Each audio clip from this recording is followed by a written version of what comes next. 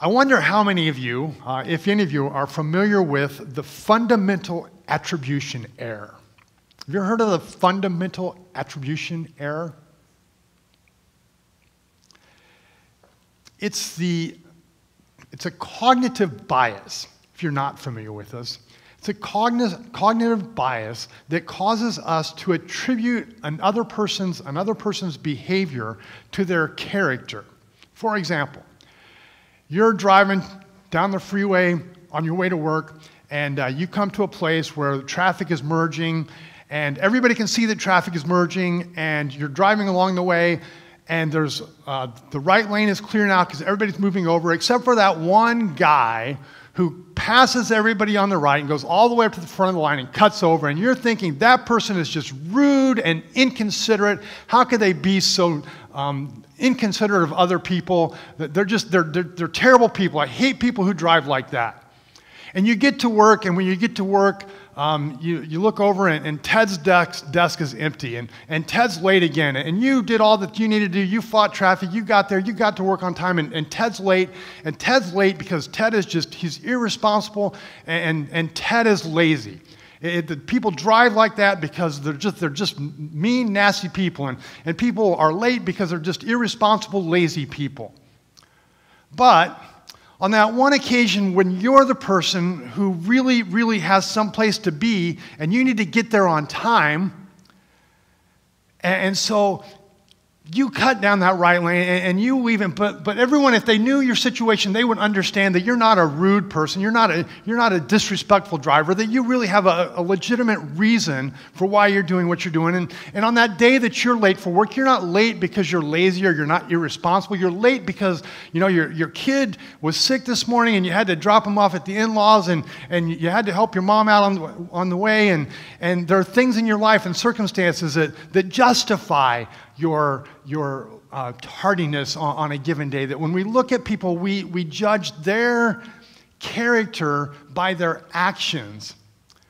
And we don't consider their circumstances, their situation, but we judge our character, our, our actions, in, in light of our character, right? It's a, the fundamental attribution error. We don't judge other people we don't judge our, ourselves the same way that we judge other people. And when it comes to the political scene, right, we look at people on the other side of the political aisle and we think, you know what? Those Democrats, they're just all a bunch of, just a bunch of uh, liberals and, and they're tolerant of everybody except for the people who disagree with them. They're just intolerant people of everybody, but the people that are tolerant, they're just, they're rude and they're, and they're inconsiderate and there's so much corruption in the Democratic Party and it's just because, it's because they're, they're, they're, just, they're bad people. We look at the other side of the aisle, we look at the, the Republicans, you know, those, the Republicans are just heartless. They just they don't care about anybody else. They're just worried about their taxes and, and, and their situation and their life, and, and, and they're just, they're heartless, rude people. And we judge people along the political line in, in this, along this, the, with the same cognitive bias. We're not looking at their situation, we're not looking at their circumstances, we're looking at their actions and attributing those actions to their character. And, and it flies back and forth both ways. And the political rhetoric that we're surrounded by, it, it feeds this. But you know what? Mature people they don't fall for this. People who are mature, people who are emotionally intelligent, people who, um, who are um, thoughtful and empathetic of other people, they don't, they don't fall for this error. Right? The, the, you're better than that. You might, you might see it in another person, and, and you might say, oh, whoa, whoa, you know what? You're, what you're doing here is you're falling for the fundamental attribution error. And they're looking at you going, huh? It's like, yeah, I heard this great sermon. And, and, the pastor talked about how we sometimes we judge people by their actions, we judge their character instead of looking at their circumstances. And, and so you're, you're on that per, the, the, side that says, no, no, no, no. We, you, we don't do, we don't judge people that way. We're empathetic. I, I used to be like that, but I don't do that anymore. When we choose to carry someone's burdens, we talked about listening. to other people, learning about their circumstances, their context, why it is that they see the world the, way that they see it. Why it is, why is it that they're afraid of the things that they're afraid of or, or want the things that they want? When we walk alongside of people, what divides us diminishes, and what unites us surfaces. We fear less and we understand more. It's how the world, how the church began. If you go back to the roots of the church. We're going to look at that this morning. Go back to the root and, and how the church got its start, how it laid its foundations, and it's how the world changed. We're in our third week, in our last week, of a series um, that I've uh, adopted the outline. I want to give credit where credit's due from Andy Stanley, um, pastor of a uh, church in, in Atlanta, Georgia. And uh, the, he, his subtitle for this series was The uh, Talking Points The Perfect Blend of Politics and Religion. And what we've been saying throughout this series that the church ought to be the safest place in the world for people to come together, even among our disagreements, and, and still love each other and still do life together. And the question that we've been wrestling with throughout this series, the, the key question is this Are we willing to put our faith filter, what it is that we believe, because of who Jesus is and because of what Jesus has done about the world and about other people, are we willing to put our faith filter above our political filter? Are we willing to be Christians first and Republicans and Democrats or independents or libertarians second? Are we willing to put Jesus first? When we do that, things change in culture and in society. And, and if we don't do that, as followers Jesus, of Jesus, if we don't do that, we do the world a disfavor. Because they don't get to see the real Jesus. They don't get to see the real good news of the kingdom of God. Because Jesus is not a footnote to our political party. Jesus did not come to like make an existing system better or to, prove, uh, to improve upon it. Last week, we, Jesus didn't come to take sides, Jesus came to take over. Jesus came to launch a new kingdom.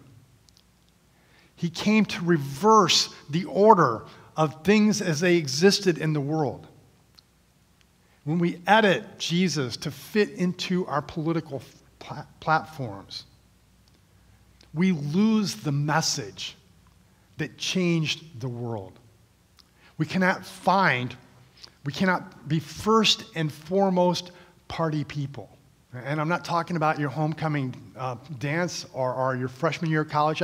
We cannot, first and foremost, we cannot be party people. We must be kingdom people who use our influence to influence others, who use our influence to influence our parties. When we're forced to choose between the lesser of two evils, rather than saying, well, this evil is less evil than that evil, so I'm going to overlook the, the evils that are this evil and only focus on all the evils on, that are that evil and not on the good parts. When we reduce everything and we focus on the lesser, we have to call out the evil that remains even in the lesser of the two evils. Not for our sake, for the world's sake. This is, this is a really, really big deal. This is, this is such a big deal that the first century followers of Jesus that, that, those Jesus, that those followers who, who were alive and when Jesus died and, and was resurrected and at the ascension and, and at Pentecost and, and carried the, the message of the kingdom forward after the ascension. I, that this was so important. This was such a big deal that they were willing to die for it. They refused unconditional allegiance to the emperor of Rome, even the good ones, at great personal risk. And, when, and because they did it, and because of the way that they did it, they actually moved the moral and ethical point of the kingdom forward, of the empire of Rome. They did this. They accomplished this by, a way, by the way of culturally disruptive unity. Culturally disruptive unity. In a world that was organized around power and wealth and citizenship, where people were able to purchase their way, if they had the means and the resources, up the social standing so, social ladder. In that kind of world, the church of Jesus stood against all the things that divided and all the ways that, that, that culture divided people, stood against them and, and ignored those walls within their community, within their fellowship, tore those walls down. And, and their disregard for the norms, for the way things were and the way that things were supposed to work, their disregard for those norms disrupted, disturbed the order of the empire. It's why Rome was so determined to stamp out this movement. We got to stop this because they're, they're, they're tearing apart the very fabric of our kingdom. The classes of people whose circles rarely overlapped. On very rare occasions, they were forced into, into, um, into each other's presence, but, but almost never in, in that culture, in, in that context. These followers of Jesus, from, from different sides of all of these issues, they would come together voluntarily, regularly, to worship the crucified God. Why? Why did they ignore the, the norms of their day? Why did they look past those things? Why did they ruffle the feathers? Why did they disrupt the kingdom? Because the good news that Jesus preached, the message that he shared, the kingdom that he declared, the kingdom that he ushered in, contended that everyone was welcome to participate in it. Everyone was invited. I, I was, um, in my early days of ministry, I was in, in youth ministry, and I was talking to a, a young kid, a young guy one day, and, and, this was, it was a while ago, um, and he, it was in the early days of Christian rock. And um, I was advocating for Christian rock music, and, and, and this young man says, it's not, it's not tenable. It's not, he didn't use the word tenable. Said uh, there, there can't be a, such a thing as Christian rock because rock music, by its nature, is countercultural. So if it's Christian, it can't be rock because Christians are not countercultural. And if you go back to the first century church, you could not be more wrong. This message was so incredibly countercultural to the world that it was being introduced to that we can hardly imagine how deeply divisive Paul's words, for example, were. We're going to look at a passage, and this is in Galatians chapter 3. Paul writes to the church in Galatia. He says this So in Christ Jesus, so in Christ Jesus, in Jesus, you are all children of God through faith. For all of you were baptized into Christ and have clothed yourselves with Christ. And this is where it goes off the rails. All of you are children of God through faith, baptized through Christ, clothe yourselves with Christ, so that there is neither Jew nor Gentile, neither slave nor free, neither male and female, for you are all one in Christ Jesus. Wait, what? You, you said in Christ there are there's no Jew nor Gentile, right? That, that, that now those barriers now they're, they're broken down that jews and gentiles like a jew never went to the home of a gentile and a gentile would never go to the home of a jew and jews looked down at their, their nose at the gentiles because the, the jews were the chosen people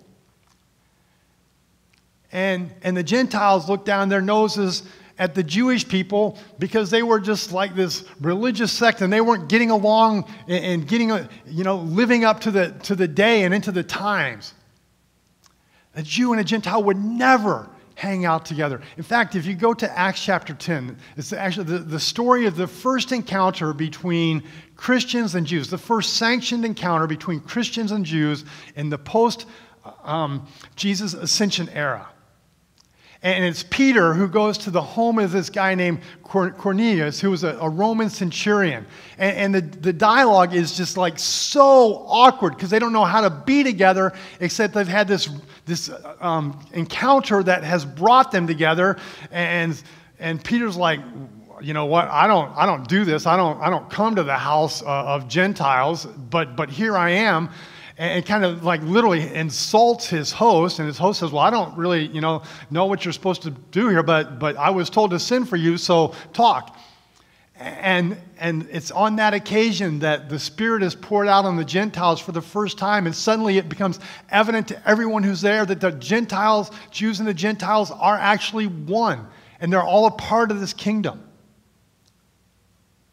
Okay so, so we're getting past these religious cultural barriers. But, but slave and free, you're breaking down the economic barriers also? What? God views slaves and masters as equals? Right? Remember last week, some were living in a, we're talking about a culture where some were born to rule and some were born to be ruled, and it was self evident. It's just the way things were. And now you're telling me that we're all on equal standing.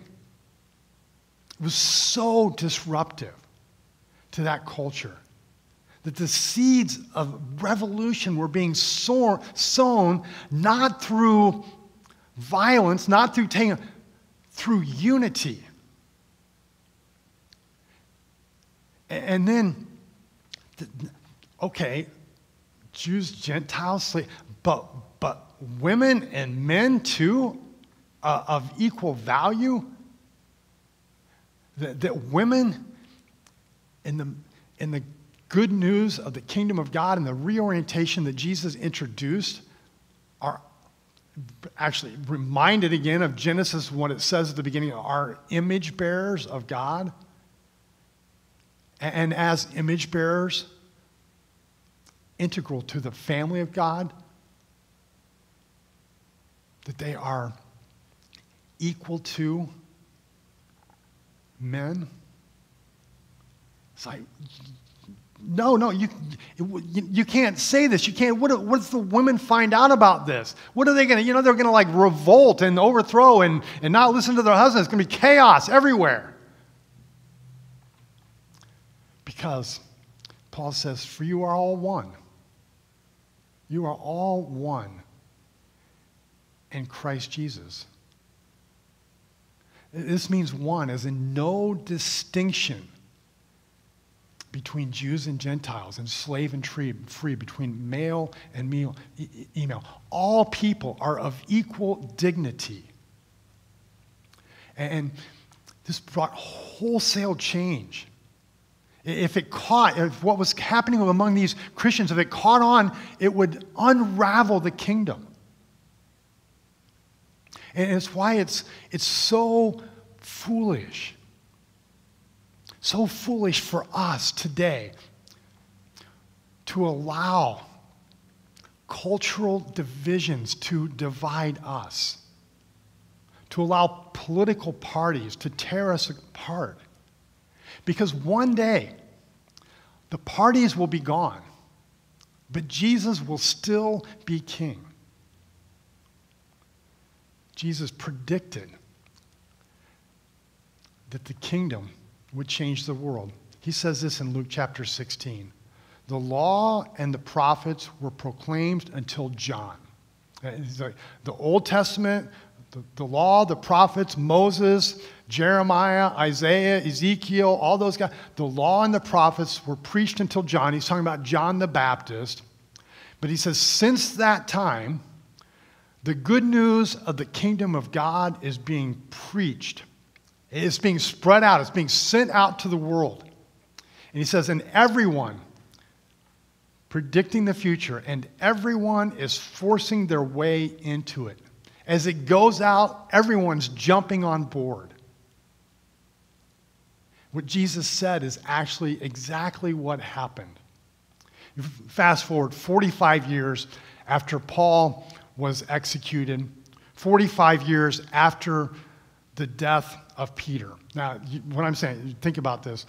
Peter was the, the, the leading disciple and, and the head of the ministry to the Jewish um, extension of the Christian faith. Paul was the missionary to the, and the leader of the Gentile mission. These are like the superheroes of the faith, the, the, the leaders of their day. They were both executed, persecuted by Rome. And so at this point, you would think, hey, they just lost that. They just lost their two major leaders. Things are going to be all downhill from here. 45 years later, the movement continues to spread. Paul's dead, Peter's dead. And, and Rome is starting, this, this great empire is starting to fray around the edges. And they're trying to figure out, hey, what's going, what's going wrong? Why, why is the empire on, on, on um, shaky ground? And what's happening here? And their conclusion was, hey, it's because we're not, we're not offering our sacrifices to the gods like we used to. And why aren't we doing that? Well, it's because these Christians don't sacrifice to our gods. And, and so we got to stop these Christians. We got to stamp out this move. We got to get everybody worshiping at the altars of our gods again and get everything back in alignment so the kingdom will, will flourish. And so, martyrs, persecution is, is going on throughout the empire to stamp out the Christian movement. And during this time, Pliny the Younger was a Roman governor in the province that, is, that we now know as Turkey. And, he sees the problem. He understands what his orders are. So he, he's supposed to uh, go out and, and arrest these, these Christians and, and, and um, contain the movement so it, so it stops the pre- spread so they can preserve the integrity of the kingdom. And so he decides that, that he needs to know why, what it is that's so threatening about the Christians. Why are they such a threat? Why do we need to stop this movement? And he sends out his spies. And, and after he, he does this, he sends a report back to the Emperor Trajan to, to, give, to tell him what he sees is going on with these Christians. And this is what he writes in his letter. Pliny the Younger writes to the Emperor Trajan. He says, The sum and substance of their fault or error, these Christians, had been that they were accustomed to meet on a fixed day before dawn. What he's referring to is on Sunday morning, the, the Christians would get together to celebrate the resurrection. And, and Sunday was a work day. And, and so they would, before dawn, they would go out before they had to go to work and they would get together to worship this crucified God. Now, think about that. Think about what our church service would be like if I said, you know what, we can't, we're going to start doing church on Monday morning at 6 a.m. Right? How many people would be here? These are our people. This is our story. They were so devoted, so committed to the church, to the, to the mission of the kingdom of God, that on, on the first work day of the week, Monday morning, right? It's Monday. They went, got together to worship. What did they do when they get there? In his report, they'd sing songs to Christ like he's some kind of God. The next time we sing a song, and maybe it's not your favorite song and, and you don't really like that song, think about this. They're getting up 6 a.m. Monday morning to sing together, to worship. This is how we began. And, and then he goes on, he says, and they would bind themselves to an oath. Oh, okay. This must be where it gets bad. This must, this must be where things go awry. Because, I mean, really, meeting together is not that big a deal, and singing is not that big a deal. But they're, they're taking an oath. This must, what, must be what makes them dangerous. Here's what he says Not an oath to some common cause. Here's their oath not to commit fraud, theft, or adultery, not to falsify their trust. Imagine if, if every Christian in, in the world got together every Monday morning at 6 a.m. and said, okay, this week, this week, I'm not going to deceive anyone. I'm not going to trick them into a bad business deal. I'm not going to misrepresent myself or misrepresent my business in a way that, that deceives people. I'm not to I'm not to lie to anybody. I'm not to steal from anybody. I'm to be faithful to my spouse. I'm going to be true to my commitments. I'm going to let my yes be yes. If I say I'm going to do something, I'm going to do it. If, I'm not, if I say I'm not going to do something, then I'm not going to do it. I'm not going to betray trust. If the church did that, if all followers of Jesus did that every week, what would, the, what would the outcome of that be? What would the result of that be? And plenty of the younger is like, this is what's angering the gods? This is what's threatening the empire? This is what must be eliminated. Well, what happened?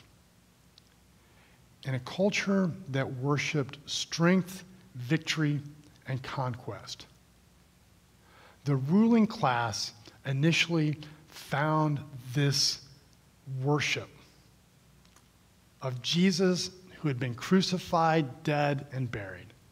They found it appalling. It's appalling.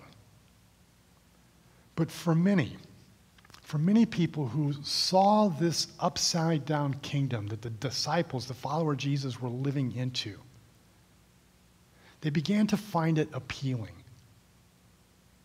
That these, these Christians, they didn't abandon the sick people. They didn't like send them off to some remote village to die.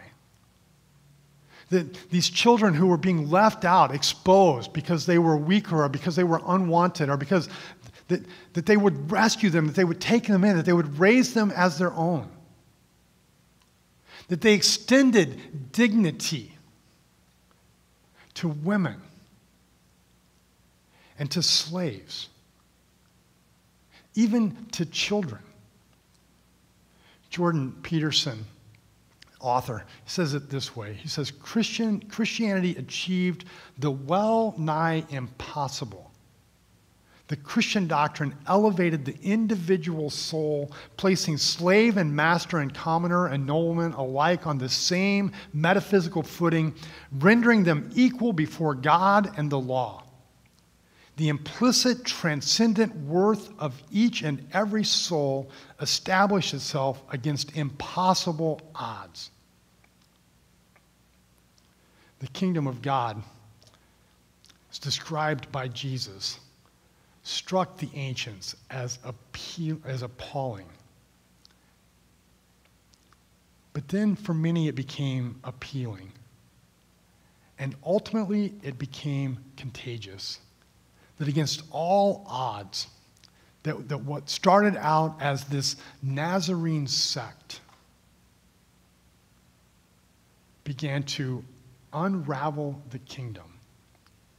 They had, they had no territory, they had no military, they had no authority, they had no political power, they had no standing in the community. And, and with a message built around two completely unacceptable policies to a first century Roman, pathetically weak ideas love your enemy, love one another, not only did it survive, it reshaped the world. that we actually live in today. We dare not be divided over party lines, knowing that those parties will one day be over. And, and if those who came before us were willing to go to such great lengths to usher in this kingdom, it would be foolish for us to allow ourselves to be, to be divided. They found common ground that disrupted and, un, and, and shocked the world and changed it. And so, Tuesday, you've probably heard there's a big election. And many people are saying that this is the most consequential election, election in a generation, maybe more. Some would say even since the days of Abraham Lincoln and, and the Civil War.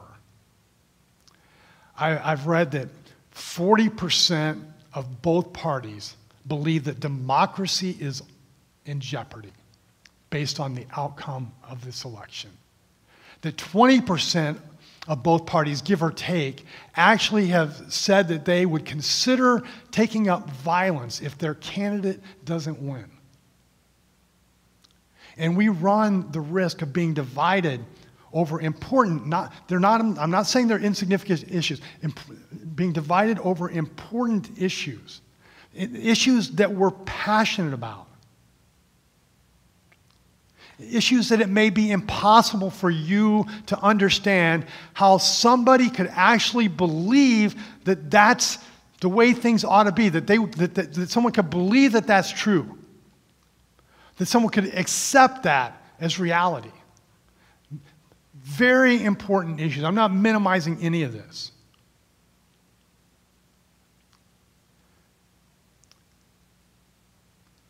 But our history is people who had stood in the midst of incredibly important issues, challenging issues, issues that, that, that laid at the very fabric of the kingdom and stood together as one. So, so let's follow the followers who followed Jesus. Vote. Please, vote.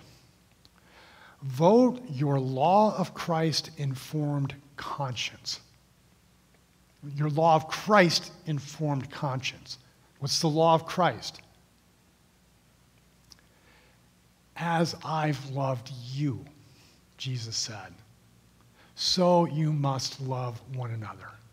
As that law informs your conscience, vote in faithfulness to that. In the meantime, let's do what the early church did. Let's do what the early church did. Let's carry each other's burdens. When you help me carry my burden, right, you, you see past the fundamental attribution error. You, see where I'm walking and the world from where I see it, and you begin to understand my needs and my challenges and, and, and my struggles, and, and vice versa right? When we carry each other's burdens, we start to see the world, feel the world from other people's perspective. And we may not agree, but we can agree to disagree politically and still love each other unconditionally. And in so doing, fulfill the law of Christ. Let's not miss this opportunity, this invitation to become followers of the King who reversed the order. There's going to be an election, and there's going to be a winner, and there's going to be a loser. And there's going to be a whole lot of fear on one side and celebration on the other side. But, but followers of Jesus, can we stand together? Can we come together? Can we listen to one another? Can, to, can we be students and not critics? and learn from one another? Can we love one another as we've been loved by Christ, even amidst our passionate disagreements? Can we do what the first church did? The early church, coming together in spite of their differences, worshiping together, singing together, claiming our place and our responsibility, our calling to view everyone as an image bearer of God, loved by God, pursued by God, and live out our calling to love the Lord our God with our heart, mind, soul, and strength, to love our neighbor as ourselves, not the way that we want to be loved, not the way that we think they deserve to be, to love one another as Jesus loved us. And if we can do that, if we will do that, the right and the left will still yell and scream, and everybody's going to be afraid. But we might just do what the early church did.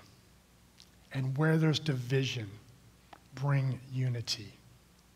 And where there's disrespect, offer dignity. Lord, I pray. I pray for our country in this week where there seems there's so much at stake and so much fear and so much anxiety and so much anger and so much misunderstanding and so much accusation and so much condemnation, so much division. Lord, you, you might fill us with the peace of Christ, that it might rule in our hearts so that even in the midst of things that might cause us anxiousness, that might cause us fear, that we would not get taken away by it, but that we would find our foundation in Christ. Having been baptized and have been made one in Christ, that we might look around to our brothers and sisters and to, and to our communities and to our world and see people dearly loved by you and not compromise the good news of the kingdom of God in the name of our political agenda. But trust. Trust in you, Lord. Trust that one day, all these things that divide us, all the, the nations of the world, all the political parties that, are, that, that exist here and, and afar, that one day all of those walls will be torn down. And there will be one king and one kingdom. And that all who belong to you will live together in the renewal of all things. Lord, I pray, let your kingdom come. Let your will be done on earth as it is in heaven. I pray in Jesus' name. Amen.